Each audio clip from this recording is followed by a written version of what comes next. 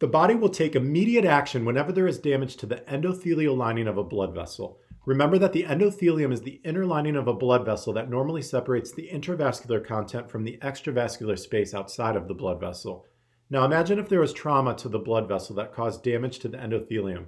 This could potentially cause blood to leak out into the extravascular space where it doesn't belong, and the body does not like this. So the body will work to form a clot over that damaged area of the blood vessel to prevent further bleeding from occurring. And this process is called hemostasis. Now, there are two phases to hemostasis. The primary phase involves forming a primary plug using platelets. This is a quick way for the body to form a clot after injury to a blood vessel. The secondary phase involves the coagulation cascade. This will further solidify and strengthen that initial primary platelet plug that is made. Today we are going to focus on primary hemostasis, which is the formation of a platelet plug.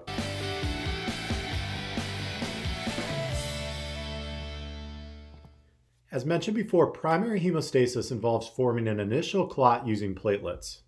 And we're going to walk through this step by step. So we've got a blood vessel here. Let's say that there's injury to that blood vessel, to that endothelial lining of that blood vessel. Look at what this does. This now exposes the subendothelial collagen that's normally hidden. Now it's exposed to that intravascular space.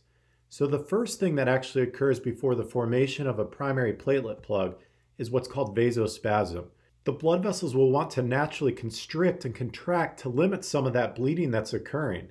So the damaged endothelial cells release a chemical peptide called endothelin.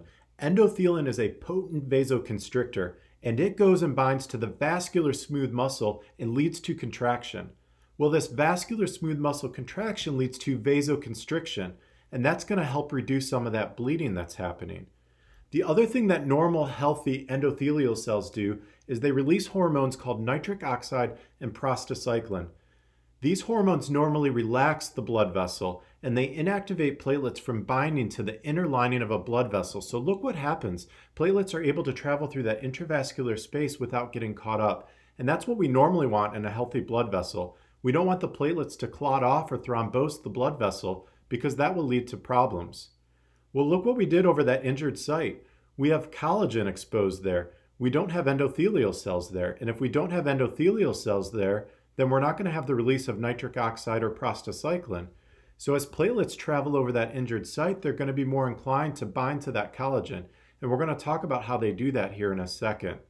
But remember we also said nitric oxide and prostacyclin also serve to relax that blood vessel. So if we don't have nitric oxide and prostacyclin over the injured site, that's going to lead to vasoconstriction, and that's going to help reduce some of the bleeding.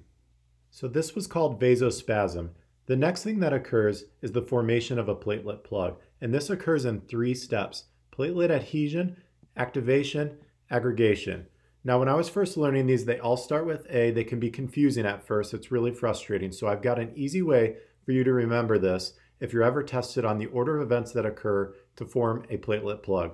Simply go from the shortest to the longest word adhesion, activation, aggregation. Now I will say once the ball gets rolling, all three of these will happen simultaneously, but for purposes of initial steps, remember this order. Let's now walk through each of these step by step, starting with platelet adhesion. Damaged endothelial cells will release a glycoprotein called von Willebrand factor. After there is injury to a blood vessel, the von Willebrand factor will bind to the exposed collagen. And this becomes important because platelets express receptors on them that will bind to von Willebrand factor as they pass the injured site and this platelet receptor is called glycoprotein 1b. This process is called platelet adhesion. Now let's talk about platelet activation. This interaction between von Willebrand factor and glycoprotein 1b will activate the platelets to release their content into the intravascular space. Some of this content, including ADP and thromboxane, will bind to other platelets and activate them to recruit them to the site of injury. Thromboxane, in addition to serotonin, also serve as vasoconstrictors. They will bind to the vascular smooth muscle and allow for contraction to occur. And remember, this vasoconstriction helps slow down some of that bleeding from occurring as well. Coagulation factors are also released during platelet activation, and this will be important during secondary hemostasis and the coagulation cascade. VEGF is also released, and this helps promote angiogenesis.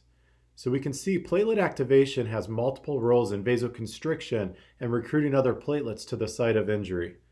But now these platelets are starting to clump together, but they have to aggregate somehow. They have to bind to each other somehow. And this is where platelet aggregation comes into play.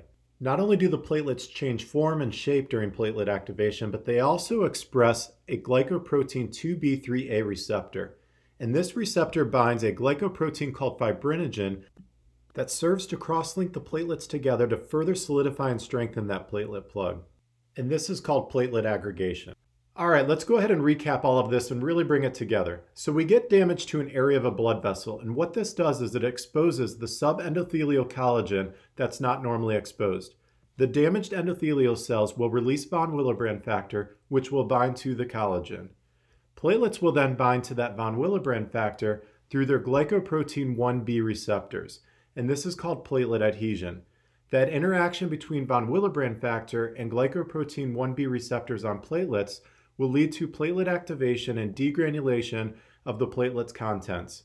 Some of this content includes ADP and thromboxane, which will activate other platelets and recruit them to the site of injury. And this is called platelet activation, the release and degranulation of those contents, recruiting other platelets to the site of injury.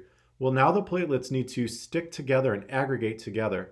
So activated platelets also express a receptor called glycoprotein 2B3A and this will bind fibrinogen that will cross-link the platelets together and further solidify that clot, and that is called platelet aggregation.